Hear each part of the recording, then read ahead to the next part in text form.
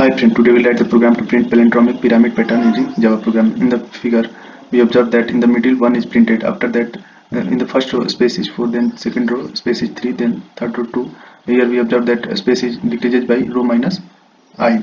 So we use formula row minus i and for printing the number mm, we divide it into mm, two parts. First part is here left side and then from uh, 1 to right side and uh, for printing the number we observe that number is in decreasing order from 2 to 1 3 to 1 4 to 1 so we use first main class write then write the main method. Then define the variable int row. Here we want input given by the user so we use scanner object. New scanner. System dot. Here then enter the row. Next line of code defined how much row user is enter. Row is equal to sc dot. Next integer. Then use for loop to define the range of i which is row. I is starting from 1 to less than or equal to i. Less than or equal to row. And i plus plus. Again use for loop to define the range of j.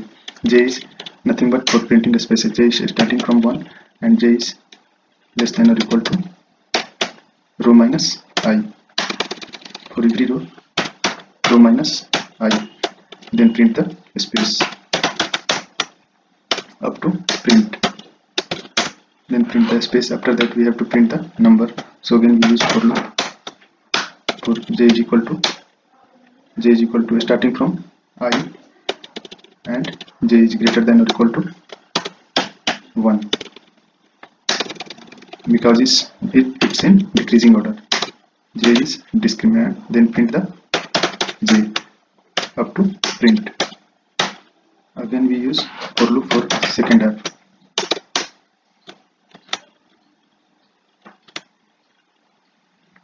Print the j. Again we use for loop. For j is equal to for the second half we observe that j is starting from 2 so then j is less than or equal to i and j plus plus then print the j up to print then after that system dot out for next line save the program and run the program let's suppose we enter the number of row is total number of row let's we want to print here number of row is equal to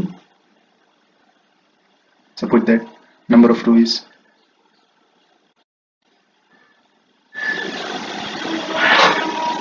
enter the number of row is 5 then enter then print that that's it